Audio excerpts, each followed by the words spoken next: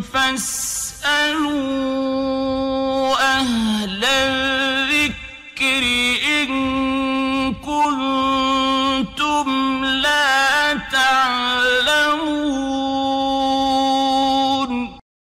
ওয়ালাইকুম আসসালাম রহমতুল্লাহ বরাকাত বোন প্রশ্ন করেছেন যে এক বোন প্রশ্ন করেছে যে মহিলাকে তো স্বামীর পাঞ্জরের বাঁকা হারে সৃষ্টি করা হয়েছে স্বামীর পাঞ্জরের বাঁকা হার নয় বরং পুরুষের বাঁকা হারে সৃষ্টি করা হয়েছে আহ, হাদিসটা এইভাবে আছে ونبي هريرة رضي الله تعالى عنه قال قال رسول الله قال رسول الله صلى الله عليه وسلم استوصوا بالنساء خيرا فإن المرأة خلقت من ضلع وإن أعوج ما في ضلع أعلى فإن ذهبت تقيم كسرته وإن تركته لم يزل أعوج فاستوصوا بالنساء আহ, যে এখানে রসুল করিম সাল্লাম বলছেন তোমরা স্ত্রীদের জন্য মঙ্গলকামী হও কারণ নারীকে পাঁজরের বাঁকা হাড় থেকে সৃষ্টি করা হয়েছে।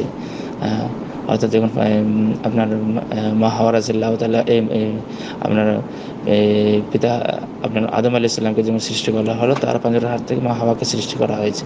আর পাঁজরের হাড়ের সবচেয়ে বেশি বাঁকা হলো তার ওপরের অংশ। যদি তুমি এটাকে সোজা করতে যাও, তাহলে ভেঙে ফেলবে ওটা তালাক হয়ে যাবে।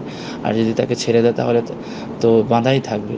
তাই তোমরা নারীদের জন্য মঙ্গলকামী হও। বোখারির আপনার তিন হাজার তিনশো একত্রিশ।